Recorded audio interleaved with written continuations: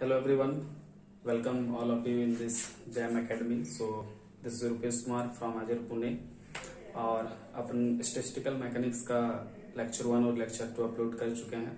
यहाँ पे हम लोग कंसेप्ट कंसेप्ट विद प्रॉब्लम्स एक सीरीज़ चल रहा है इसमें हम लोग आईटी जैम के टॉपिक वाइज सारे जैम और जेस्ट के टॉपिक वाइज क्वेश्चन सॉल्व कर रहे हैं with left hand right up and down possibilities of question from that topic हाँ।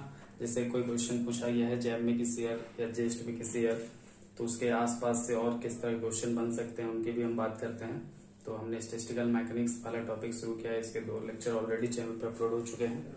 और this is lecture number three so उम्मीद करते हैं आप अगर अभी तक नहीं देखे हैं दो लेक्चर तो हमारे जैम अकेडमी चैनल पे आप जाके देख सकते हैं। और हमारे साथ जुड़ने के लिए डिस्क्रिप्शन पे हमारा व्हाट्सएप नंबर है, आप हमें व्हाट्सएप कर सकते हैं। साथ ही जो लोग नए हैं सब्सक्राइब नहीं किए हैं चैनल को सब्सक्राइब कर लें और आइए, शुरू करते हैं अपन लेक्चर थ्री ठीक है?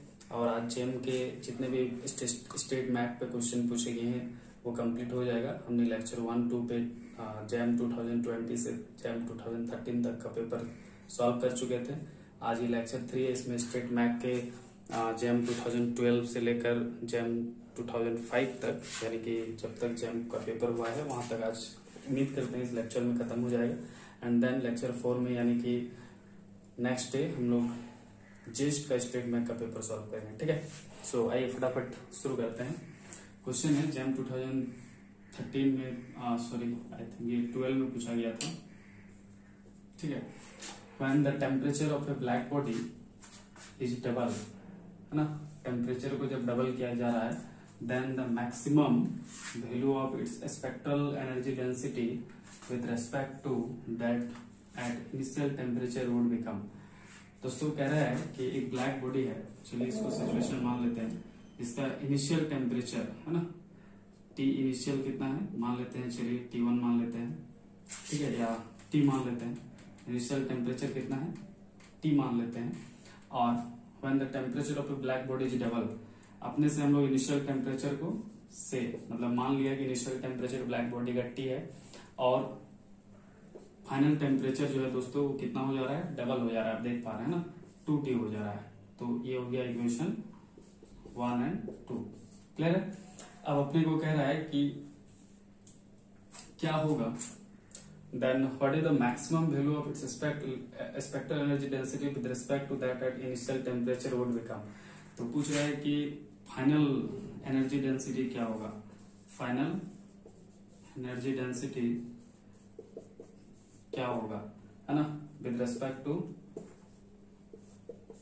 with respect to initial one with respect to initial one दोस्तों, आपको मालूम होगा since in the case of black body in the case of black body spectral energy density को यू से रिप्रेजेंट करते हैं और ये डायरेक्टली प्रोपोर्शनल होता है T to the power four क्योंकि आपको मालूम होगा ये इक्वल टू होता है sigma E A T to the power sorry power इतना होता है। पावर पर यूनिट एरिया जो होगा वो कितना होगा? आप देख सकते हैं कि ए यहाँ से घट जाएगा एंड ये power per unit area spectral energy density sigma E T का power four so U directly proportional to T का पावर फोर ठीक है? That means U is equal to अगर प्रोपोजिलिटी का साइन अगर हटेगा इक्वल में कन्वर्ट होगा तो कोई कांस्टेंट आएगा मान लेते हैं, कोई कांस्टेंट के आया और टी का पावर फोर तो ये यू बाय टी का power four is equal to K is equal to constant है ना? ऐसे लिख सकते हैं? Then what does it means इसका मतलब है कि, देखिए, हम आपको पिछला क्लास में बताए थे कि किसी भी क्वांटिटी अगर कोई भी quantity is equal to constant है, इसका मतलब है कि उसका डिफरेंट कंपोनेंट बराबर होगा। इसका मतलब है कि E one by T one का power four must be equal to E two by T two का power four must be equal to E three by T three का power four and so on ठीक है? लेकिन अभी हम लोग को सिर्फ़ E one E two T one T two में रिलेशन चाहिए। तो इसको क्या कर देंगे? मिटा देंगे। इस फॉर्मूला को यूज़ करके इस ई वन को उठा के उधर ले जाए टी टू को उठा के यहाँ पे ले आए ठीक है? इस ई वन को उठा के उधर ले जाए तो क्या बन गया इधर? ई टू बाई वन और टी टू का पावर फोर को उठा के यहाँ पे ले आए तो ये टी टू का power four by T one का पावर फोर तो इसको चलिए ठीक से लिख लेते हैं। ई टू बाई वन कितना हो जाएगा दोस्तों? T two by T one पूरा का पावर फोर ऐसा लिख सकते हैं? तो आप देख सकते हैं कि हम लोग पहुँच चुके हैं अपने आंसर तक। इसको यहाँ से रब कर लेते हैं। तो आप देख सकते हैं कि यहीं पे आप देख लीजिए। E two by one is equal to final temperature T two कितना है? टू टी और इनिशियल टेम्परेचर टी वन कितना माना है टी तो टू टी बाई टी का पावर फोर है दोस्तों, यहाँ से टी टी कट गया। टू का पावर फोर कितना होता है? टू टू टू तो टू टू जा फोर फोर टू जा एट एट टू जा सिक्सटीन तो ये सिक्सटीन आ गया। इसका मतलब क्या है दोस्तों? ई टू जो है, वो सिक्सटीन टाइम्स है ई वन का। यानी कि ये हमारा क्या है? Final energy density final energy density और ये इवन क्या है हमारा? इनिशियल इनिशियल एनर्जी डेंसिटी तो फाइनल एनर्जी डेंसिटी U2 जो है दोस्तों 16 टाइम्स है इनिशियल एनर्जी डेंसिटी E1 का, जो क्वेश्चन में हमसे पूछा था।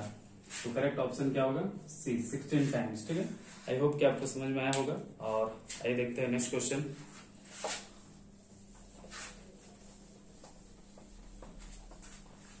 ये फॉर्मूला बहुत ही इंपॉर्टेंट है, इस तरह के क्वेश्चन आते रहते हैं ना? तो इसको आप याद रख लें क्लियर कई बार जैसे अभी हमने लिखा आप ये याद रखें पावर इक्वल होता है सिग्मा ई ए टी का पावर फोर ठीक है? ये होता है ब्लैक बॉडी का केस में हम बता रहे हैं किस तरह के क्वेश्चन बनते हैं इस पर ठीक है? एक तो होता है power equal to sigma E A T का पावर फोर क्लियर है तो यहाँ से एक तो ये बनता है कि आ, और एक होता है पी बाई एक उठा के उधर ले तो बच्चा सिग्मा ई टी का पावर फोर तो यहाँ से E इक्वल टू बनता है सिग्मा ई टी का पावर फोर तो अभी हम लोग देखें, U बाई टी का power four equal to constant यानी फॉर्मूला बना E one by T one का power four is equal to E two by T two का पावर फोर तो ये एक रिलेशन है इस पे किस तरह क्वेश्चन आ सकता है, अभी हम लोग देखेंगे कई बार इस रिलेशन पे भी क्वेश्चन आता है। मान लीजिए आपसे कह दे कि टेम्परेचर कांस्टेंट है। क्या कह दे? टेम्परेचर कांस्टेंट है। तो ये क्या बन गया दोस्तों? Power by A is equal to sigma E चलिए, सिग्मा ई और एरिया को क्या लिख सकते हैं? फोर पाई आर स्क्वायर, है ना? और ये टी का पावर फोर। तो दोस्तों, power by R square is equal to क्या बन जाएगा? Sigma E four pi T का पावर फोर। ठीक है सिग्मा स्टीफन कांस्टेंट है ई है ए भी कांस्टेंट है, फोर पाई भी कांस्टेंट है और टी अभी टेम्परेचर कांस्टेंट बोल दिया है तो कई ऐसा केस ये क्वेश्चन होता है, इसमें टेम्परेचर कांस्टेंट कह देता है तो ये चूँकि कांस्टेंट हो गया, पूरा टेम्परेचर तो ये पूरा टर्म मिलके कांस्टेंट हो गया। देख सकते हैं power P power by radius R square is equal to constant दोस्तों ब्लैक बॉडी का area surface area four pi square इसलिए लिए हैं, क्योंकि ब्लैक बॉडी टू नहीं हो सकता है ब्लैक बॉडी थ्री होगा तो थ्री होगा मतलब उसका area four pi R square होगा ठीक है? और उस ब्लैक बॉडी का रेडियस आर है और ये पावर है, ठीक है? तो P by R square is constant इसका मतलब क्या है दोस्तों? P one by R one square must be equal to P two by R two square तो यहाँ से देखिए पावर और रेडियस ऑफ़ ब्लैक बॉडी में रिलेशन मिल गया जैसे अभी क्वेश्चन पूछा था ना टेम्परेचर और एनर्जी डेंसिटी में। उसी तरह से कभी पावर और रेडियस पे भी क्वेश्चन पूछ सकता है। पूछ नहीं सकता है, बहुत बार पूछ चुका है एग्ज़ाम में तो उम्मीद है कि आप इस तरह क्वेश्चन के लिए तैयार रहेंगे, ठीक है? उम्मीद करते हैं आपको समझ में आया होगा।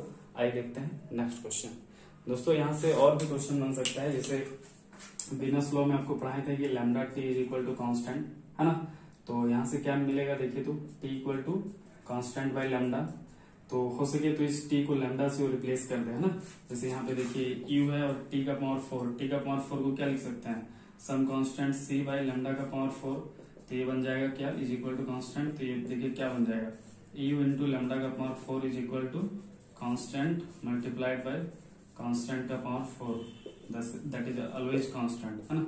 देखिए यहाँ से भी एक रिलेशन आया यू लैमडा का power four equal to constant इसका मतलब ई वन लेमडा वन का power four equal to E two lambda two का पावर फोर देखिए एनर्जी डेंसिटी और लेमडा में भी आपसे रिलेशन पूछ सकता है।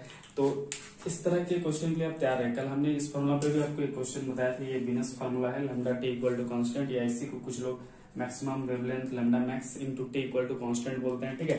तो ये आप दो तरह के क्वेश्चन के लिए इस टॉपिक पे, देखिए, एक तरह क्वेश्चन दो तरह क्वेश्चन तीन तरह क्वेश्चन के लिए आप तैयार रहेंगे, ठीक है? उम्मीद करते हैं आपको समझ में आया होगा। आइए देखते हैं next question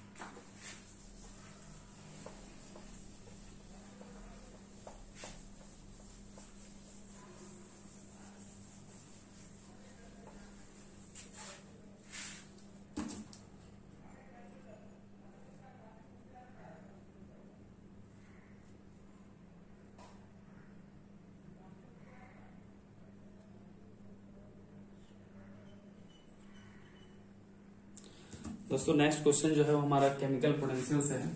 so next question JAM 2008 का है। जैम 2008 का है। पूछा है कि chemical potential chemical potential mu in case of Bose science is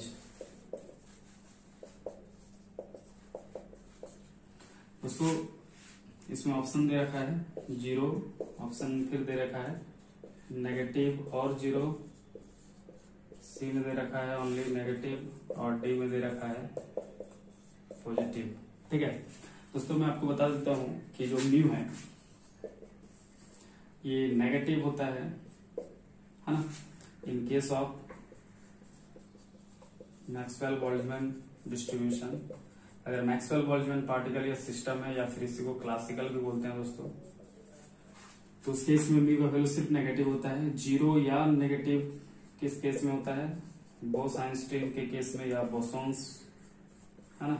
या बोस पार्टिकल नाम बहुत अलग अलग है तो डरने वाली कोई बात नहीं है। आपको याद रहे कि फोटोन भी एक बोसोन है दोस्तों तो फोटोन के बारे में पूछ सकता है, ठीक है? ये ध्यान रहे। फोटोन एक बोस पार्टिकल है बोस आइंस्टीन डिस्ट्रीब्यूशन को फॉलो करता है तो ये भी पूछ सकता है कि फोटोन का म्यू केमिकल पोटेंशियल क्या होगा। तो जितने भी बोस आइंस्टीन या बोसोन या बोस पार्टिकल होंगे like photon for example photon उनका म्यू या तो ज़ीरो होगा या तो नेगेटिव होगा, ठीक है? मैक्सवेल बोल्टजमैन या जो क्लासिकल पार्टिकल होंगे, उनके लिए केमिकल पोटेंशियल म्यू का वैल्यू जो होगा दोस्तों, हमेशा नेगेटिव होगा, और ये सिर्फ़ पॉजिटिव होगा फर्मी ड्रग के केस में। फर्मी ड्रग या फर्मियंस है ना? फर्मी ड्रग या फर्मियंस के केस में क्या होगा दोस्तों? पॉजिटिव होगा। For example for example electron proton neutron etc है ना? ये सारे फर्मियंस हैं स्पिन हाफ़ होता है, ठीक है? दोस्तों मैक्सवेल बोल्टमैन में जो बॉस आइंस्टीन के केस में जो स्पिन होता है, वो इंटीग्रल मल्टीपल होता है zero one two three source and Fermi Dirac के केस में जो स्पिन होता है, वो दोस्तों हाफ़ का इंटीग्रल स्पिन होता है जैसे one by two, three by two, five by two. ये ऑफकोर्स प्लस माइनस सब लगा सकते हैं। पॉजिटिव, नेगेटिव कुछ भी हो सकता है। क्लियर तो लाइक सॉन्ग तो दिस द बेसिक डिफरेंस ठीक है ना? ये बाबू क्लासिकल है। ये जो है ना मैक्सवेल बोल्टजमैन क्लासिकल है और ये जो दो है, ये क्वांटम है। ये क्लासिकल है और ये क्वांटम है दोनों। तो ये डिस्टिंग्विशेबल होगा। ये डिस्टिंग्विशेबल होगा। लेकिन ये जो है, दोनों इनडिस्टिंग्विशेबल होता है। इनडिस्टिंग्विशेबल होता है ना? इनडिस्टिंग्विशेबल होता है। मतलब क्लासिकल पार्टी को आप अलग अलग नेमिंग कर सकते हैं। जैसे ए एक पार्टिकल का नाम दे दिया, दूसरा वो बी तो आप सबको अलग अलग डिस्टिंग कर सकते हैं। डिस्टिंग अलग अलग है ना? लेकिन ये बोस आइंस्टीन और फर्मी ड्रैग के केस में लोग क्वांटम पार्टिकल्स मतलब क्वांटम स्टेटिक्स फॉलो करते हैं। मतलब ये पार्टिकल इनडिस्टिंग्विशेबल होते हैं। मतलब जैसे आप पार्टिकल सारे ऐसे होंगे ए ए ए ए ए तो इनको आप अलग अलग नहीं कर सकते। इनडिस्टिंग्विशेबल होते हैं, ठीक है? और आपको एक प्रॉपर्टी याद रखना है कि बोस आइंस्टीन में जो वेव फ़ंक्शन होता है साइज़ होता है दोस्तों, वो हमारा एंटी सिमेट्रिक होता है। सॉरी सिमेट्रिक होता है ना? कैसे होता है? सिमेट्रिक होता है। और फर्मी ड्रैग के केस में साई हमारा क्या होता है दोस्तों? एंटी सिमेट्रिक होता है। ठीक है? क्या होता है? एंटी सिमेट्रिक होता है। इसमें तो वेव फ़ंक्शन का बात होगा ही नहीं। साई तो होगा ही नहीं। क्यों नहीं होगा? क्योंकि क्लासिकल है। क्लासिकल स्टेटिक्स है। ठीक है ना? इधर वो वेव फ़ंक्शन का कोई मतलब नहीं है। क्वांटम भी वेव फ़ंक्शन का मतलब है तो बॉस आइंस्टाइन के केस में सिमेट्रिक वेव फ़ंक्शन होते हैं और फर्मीड्रा के केस में एंटी सिमेट्रिक वेव फ़ंक्शन होता है। दोस्तों, ये wave function symmetric anti symmetric बोलने का मतलब समझ रहे हैं, जैसे अगर psi of minus X is equal to psi of plus X अगर इस रिलेशन को कोई वेव फ़ंक्शन सेटिस्फाई कर रहा है तो सिमेट्रिक होगा, ठीक है? और psi of minus X is equal to अगर माइनस ऑफ़ साई एक्स बन जा रहा है तो ये वेव फ़ंक्शन क्या होगा दोस्तों? एंटी सिमेट्रिक होगा। आप ये बहुत ही वेल नॉन आप पहली बात ही परिचित है इस तरह के ऑड और इवन फ़ंक्शन से। जैसे आप ऑड और इवन फ़ंक्शन पढ़ते हैं अलजेब्रा में सिमिलरली वेव फ़ंक्शन के केस में अपन एंटी सिमेट्रिक और सिमेट्रिक वेव फ़ंक्शन पढ़ते हैं। सेम प्रॉपर्टी को ये लोग फॉलो करते हैं कि अगर वेव फ़ंक्शन है, मान लीजिए कोई psi of X wave function A to the power minus X square by A square अगर एक्स को माइनस यहाँ पे रख दिए तो ये माइनस ऑफ़ एक्स स्क्वायर कोई फ़र्क नहीं पड़ेगा। इस केस में देखिए psi of minus X equal to psi of X आने वाला है क्योंकि यहाँ एक्स स्क्वायर है। Minus of X is also plus of X square ठीक है? तो इस केस में जो वेव फ़ंक्शन होगा कैसा होगा? सिमेट्रिक वेव फ़ंक्शन होगा। कैसा होगा? सिमेट्रिक वेव फ़ंक्शन होगा। लेकिन अगर नेगेटिव भी आ जाता तो एंटी सिमेट्रिक होता। आशा करता हूँ आपको समझ में आया होगा। आइए देखते हैं नेक्स्ट क्वेश्चन तो इस क्वेश्चन का फ़िलहाल आंसर क्या हो गया? बहुत आइंस्टाइन के केस में व्यू क्या होगा? या तो नेगेटिव होगा या तो ज़ीरो होगा।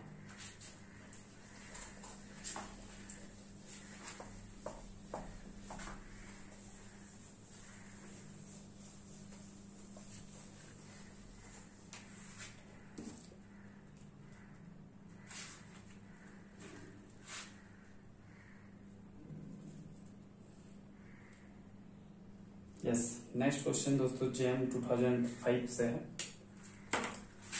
जेम 2005 में क्वेश्चन पूछा था स्टेट मैप पे। क्वेश्चन था which of the following statement is in correct which of the following statement is incorrect ठीक है? Which of the following statement is incorrect clear है? सो ऑप्शन ए था in this indistinguishable particles obey Maxwell Boltzmann statistics B में all all particles of an ideal Bose gas occupy a single energy state at t equal to zero of an ideal Bose gas occupy a single energy state at t equal to 0 Kelvin the integral the integral spin particles obey Bose-Einstein statistics और D में है protons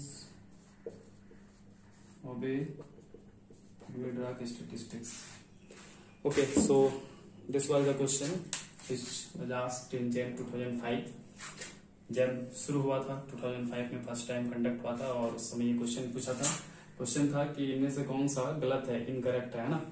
तो देखिए, सबसे पहले जो बोला है कि indistinguishable particles of a Maxwell Boltzmann statistic दोस्तों अभी हम आपको बताएँ कि मैक्सवेल बोल्जमैन स्टेटिस्टिक का मतलब क्या होता है? क्लासिकल पार्टिकल है ना? और क्लासिकल पार्टिकल डिस्टिंग्विशेबल होते हैं मतलब उनको आप डिस्टिंक्ट अलग अलग कर सकते हैं। जैसे आप क्लासिकल मैकेनिक्स पढ़ के आए हैं, एक बॉडी है मास फाइव के का, एक बॉडी है थ्री के का मतलब वहाँ पे बड़े बड़े बॉडी होते हैं तो उनको आप अलग अलग देख के कर सकते हैं, पहचान सकते हैं। लेकिन जब हम लोग क्वांटम स्टेटिक्स पढ़ते हैं, जहाँ पे बहुत साइंस स्ट्रीम स्टेटिक्स और फर्मी स्टेटिक्स पढ़ते हैं, वहाँ पे चूँकि क्वांटम स्टेटिक्स है पार्टिकल बहुत ही नेग्लिजिबल है, छोटा है देख नहीं सकते उनको तो वो इनडिस्टिंग्विशेबल है, उनको अलग अलग नहीं कर सकते हैं, ठीक है?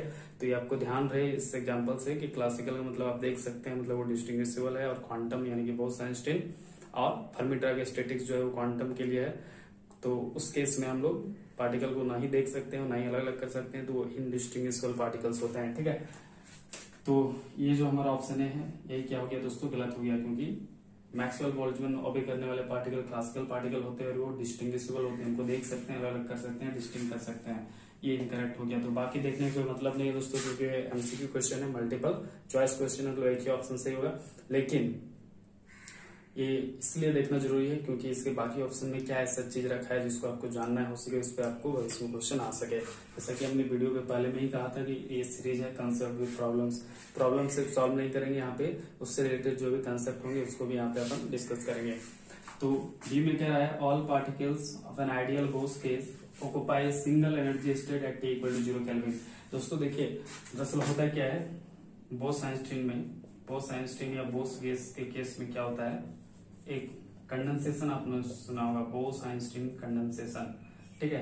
आप जैसे क्लास नाइन में जब फ़र्स्ट टाइम पढ़ते हैं state of matter state board के केस में बात कर रहा हूँ स्टेट ऑफ़ मैटर आपने पढ़ा होगा सॉलिड लिक्विड गैस और साथ में और दो आपको पढ़ाया गया होगा। एक पढ़ाया गया होगा बोस आइंस्टीन कंडेंसेशन और दूसरा पढ़ाया गया होगा प्लाज्मा ठीक है? तो जो बोस आइंस्टीन कंडेंसेशन होता है दोस्तों, वो एक स्टेट है ना? मैटर का एक स्टेट है, जो कहीं लिक्विड और गैस के बीच या लिक्विड या सॉलिड के बीच में एग्जिस्ट करता है, ठीक है? तो बोस्ट आइंस्टीन कंडेंसेशन के केस में होता क्या है दोस्तों? मान लीजिए कि ये एनर्जी लेवल्स है, यहाँ पे दो पार्टिकल है, तीन पार्टिकल है, यहाँ पे दो पार्टिकल है, यहाँ पे एक पार्टिकल है।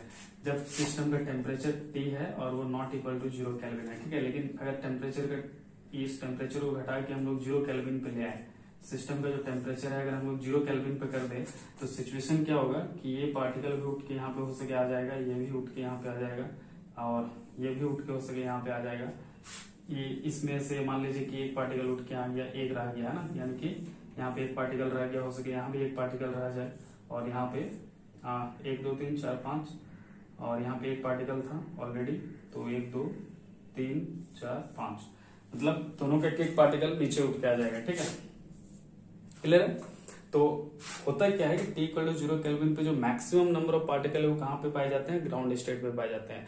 और एक छोटा सा number of particle fraction of small number of particle other state में पाए जाते हैं हायर स्टेट में, ठीक है? लेकिन मैक्सिमम मोस्टली 95 से 97 परसेंट पार्टिकल्स जो है वो ग्राउंड स्टेट पे आ जाते हैं। और इसी को बोलते हैं बोस आइंस्टीन कंडेंसेशन के सिस्टम कंडेंसेट हो गया किसी पर्टिकुलर टेम्परेचर पे, ठीक है? तो इसका मतलब ये तो नहीं हुआ कि टी इक्वल टू ज़ीरो पे सारे हायर एनर्जी स्टेट के पार्टिकल ग्राउंड स्टेट पे आ जा रहे हैं। ऐसा नहीं होता है, ठीक है ना? सारे, जैसे जैम 2020 में क्वांटम मैक पे एक सवाल पूछा था कि फाइव इलेक्ट्रॉन्स उनका एनर्जी निकालना था और वो सिस्टम है टी इक्वल ज़ीरो केल्विन पे था, है ना? हाफ़ इंटीग्रल स्पिन पार्टिकल थे, यानी इलेक्ट्रॉन्स थे लाइक तो इलेक्ट्रॉन्स अगर हैं और T equal to zero kelvin पे हालाँकि वो फर्मी ड्रैग फॉलो करते हैं क्योंकि हाफ़ इंटीग्रल है। तो टी ज़ीरो केल्विन होने का कभी मतलब नहीं है कि सारे पार्टिकल्स आपके ग्राउंड स्टेट पे आ जाएँगे, ठीक है ना? लेकिन हाँ मैक्सिमम पार्टिकल आपके ग्राउंड स्टेट पे लोएस्ट एनर्जी स्टेट पे आ जाएँगे। तो ये हमारा गलत sorry sorry all particles of an ideal Bose ideal Bose case occupy a single energy state at T equal to Kelvin. Most uh, all the particles yes हमने यहाँ पे गलती कर दिया जितने भी पार्टिकल्स होंगे कंडेंसेशन के केस में वो सारे particle lowest energy state possible जो लोएस्ट एनर्जी स्टेट होगा उसको ऑक्यूपाई कर लेंगे टी इक्वल टू जैसे ज़ीरो केल्विन होगा जितने भी मैक्सिमम पॉसिबल लेकिन ये आइडियल केस के आइडियल केस के केस में हमने इस बात को ध्यान नहीं दिया था यहाँ पे। इन जनरल ऐसा नहीं होता है, कुछ फ्रैक्शन रह जाता है, लेकिन अगर आइडियल बोस केस की हम लोग बात करें तो आइडियलिज्म के केस में ऐसा हो सकता है, लेकिन इन जनरल रियलिटी में ऐसा नहीं होता है, लेकिन आइडियल के केस में सारे पार्टिकल को ऐसा एज्यूम करते हैं कि वो ग्राउंड स्टेट पे आ चुका है। तो आइडियल के केस में हमने इस बात को ध्यान नहीं दिया था, ये सही होगा, ठीक है? कि हाँ सारे पार्टिकल ग्राउंड स्टेट पे टी ज़ीरो पे आ जाते हैं। दूसरा सी थर्ड ऑप्शन है the integral spin particles of a Bose Einstein दोस्तों, जो इंटीग्रल स्पिन होता है लाइक एस का value plus one minus one by two plus minus three by two ये सबको इंटीग्रल स्पिन बोलता है ना? वन बाई टू का इंटीग्रल जैसे एन बाई टू एन का वैल्यू कुछ भी हो सकता है थ्री फाइव सेवन तो इंटीग्रल स्पिन वाले पार्टिकल क्या होते हैं दोस्तों? हम आपको बताए थे अभी इससे पहले वाला क्वेश्चन में फर्मी ड्रैग फॉलो करते हैं। और बोस आइंस्टीन स्टेटिक्स वाले पार्टिकल क्या होते हैं? ओनली इंटीग्रल स्पिन इंटीग्रल नहीं होते हैं, वो आई एम रियली सॉरी हम क्या बता रहे हैं? माइंड किधर चला गया मेरा। Yes integral spin integral spin का मतलब plus one by two plus minus three by two plus minus five by two ये जो है फॉलो करने वाले हैं इंटीग्रल स्पिन सॉरी हम फिर से इंटीग्रल स्पिन का मतलब है दोस्तों इंटीजर है ना? Zero plus minus one plus minus two plus minus three और जो इंटीग्रल स्पिन फॉलो करते हैं, उनको क्या कहते हैं? बोस आइंस्टीन पार्टिकल कहते हैं, या फिर वो पार्टिकल बोस आइंस्टीन स्टेटिक्स को फॉलो करते हैं। बार बार हम मिस्टेक कर रहे थे। हाफ़ इंटीग्रल स्पिन ये हो गया ना? This is half integral spin half integral spin like three by two five by two seven by two plus minus है ना? चलता रहेगा। तो ये ये जो पार्टिकल होते हैं, वो फर्मी ड्रैग को फॉलो करते हैं, ठीक है? और जो ओनली इंटीग्रल स्पिन होते हैं like integer zero one two three and so on वो सही है बोस आइंस्टीन फॉलो करते हैं। अभी हम, मैंने आपको बताया था कि इंटीग्रल स्पिन कौन फॉलो करते हैं।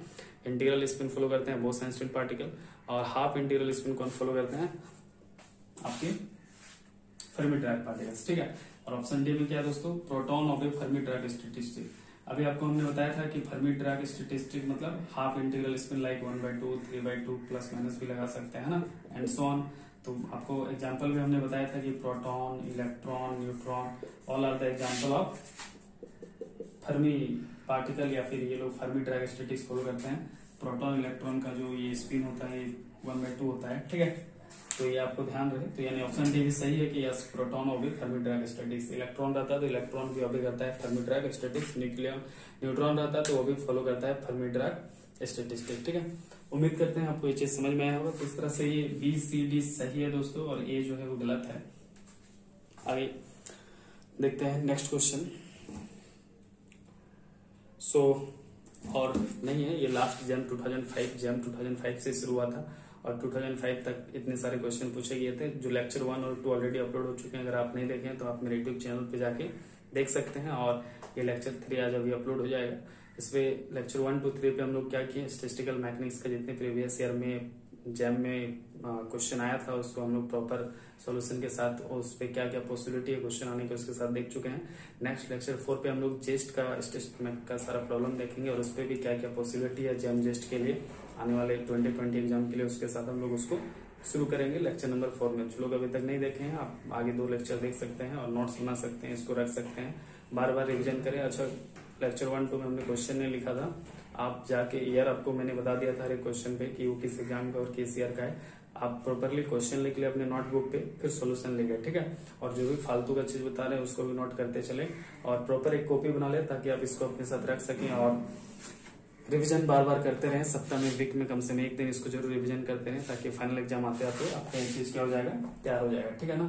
फाइनल एग्ज़ाम आते आते ये चीज़ तैयार होगा तो आप क्या कर सकते हैं कि आ, आप इसको एक बार फुल रिविजन कर सकते हैं और आपके एग्ज़ाम में जो भी क्वेश्चन आएँगे उम्मीद करते हैं कि 90 परसेंट इसी में से आएँगे और आपके वो क्वेश्चन सॉल्व हो जाएँगे ठीक है? ऐसा हम आशा करते हैं। उसके बाद टीएफआर का देखेंगे देन क्वांटम मैकेनिक्स शुरू करेंगे या थर्मोडायनेमिक्स दोनों में कोई एक शुरू करेंगे स्टेट में जेस्ट का खत्म हो जाने के बाद। जैम का तो आज खत्म हो गया।